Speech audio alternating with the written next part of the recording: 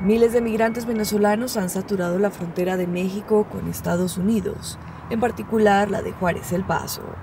De acuerdo con los datos de la patrulla fronteriza, en la última semana han cruzado por el río Bravo un promedio de 660 personas.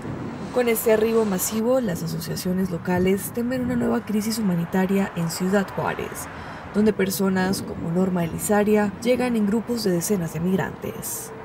Este, somos oriundos todos de Venezuela, Estado Táchira, somos 26 personas. Estamos divididos ahorita porque unos vienen ya casi que llegando aquí a Ciudad Juárez.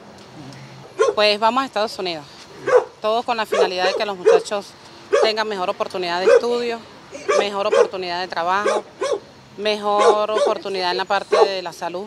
El cruce masivo comenzó el pasado 10 de septiembre, justo el día en que entró en vigor la extensión del estatus de protección temporal en Estados Unidos para migrantes de Venezuela una política para protegerlos de deportaciones y obtener permisos laborales, aunque esto aplica a aquellos que ya estaban protegidos.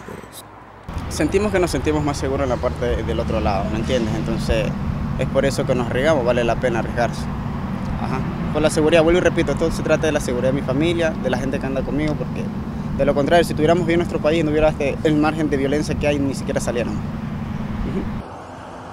Este episodio es un reflejo más del flujo migratorio récord que vive la región hacia Estados Unidos, donde la Oficina de Aduanas y Protección Fronteriza ha interceptado a más de 1.82 millones de personas en lo que va del año fiscal 2022 que inició en octubre pasado.